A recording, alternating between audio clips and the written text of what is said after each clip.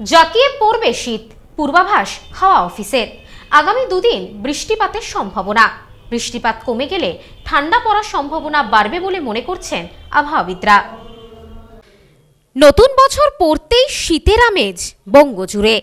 তারই মাঝে বৃষ্টির পূর্বাভাস হাওয়া অফিসের আসুন, জেনে নেওয়া যাক শীত নিয়ে কী আপডেট রয়েছে হাওয়া অফিসের এবছরে দুর্গাপুজোর পর থেকেই শীতের মিষ্টি আমেজ উপভোগ করেছেন বঙ্গবাসী। কিন্তু পঁচিশে ডিসেম্বর আসার আগেই এক প্রকার উধাও হয়ে গিয়েছিল শীত। এমনকি এবছর উষ্ণতম বড়দিন এবং ইংরেজি নববর্ষ উপভোগ করেছেন বঙ্গবাসী। কিন্তু নতুন বছরের শুরুতেই দেখা মিলেছে শীতের। তবে অন্যান্য বছরের তুলনায় জানুয়ারি মাসের ঠান্ডা অনেকটাই কম। কিন্তু এরই মধ্যে মন ভালো করা খবর শোনালো আলিপুর আবহাওয়া দপ্তর। রবিবার রাত থেকেই ফের শহরে ফিরেছে শীতের আমেজ। হাওয়া অফিস সূত্রে জানা গিয়েছিল, নতুন বছর থেকে দক্ষিণবঙ্গে তাপমাত্রা কমবে। মঙ্গলবার কলকাতার সর্বনিম্ন তাপমাত্রা ছিল পনেরো দশমিক পাঁচ ডিগ্রি সেলসিয়াস। হাওয়া অফিস সূত্রে জানা গিয়েছে, বুধবার কলকাতার তাপমাত্রার পতন হয়েছে বেশ খানিকটা। এদিন শহরের সর্বনিম্ন তাপমাত্রা চোদ্দ ডিগ্রি সেলসিয়াস, যা স্বাভাবিক তাপমাত্রার সমান। বুধবার কলকাতার সর্বোচ্চ তাপমাত্রা তেইশ ডিগ্রি সেলসিয়াসের ঘরে থাকবে বলে খবর হাওয়া অফিসের।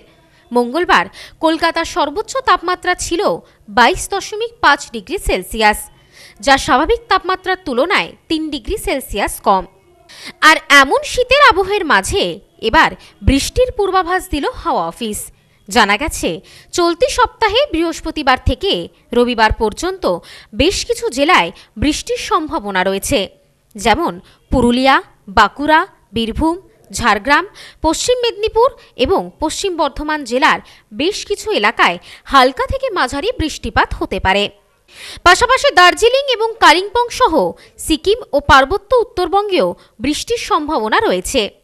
আজ থেকে আগামী পাঁচ দিন দার্জিলিংয়ে বৃষ্টি এবং তুষারপাতের সম্ভাবনা থাকবে। পশ্চিমী ঝঞ্ঝার প্রভাবেই বৃষ্টি ও তুষারপাতের সম্ভাবনা পার্বত্য উত্তরবঙ্গের উঁচু এলাকায়। তবে কনকনে শীত কবে উপভোগ করবে বঙ্গবাসী?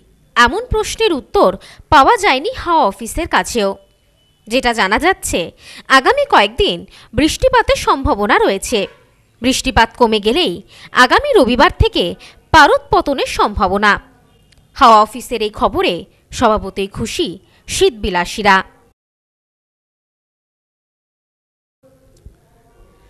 Bureau report, news, no man's land, Kolkata.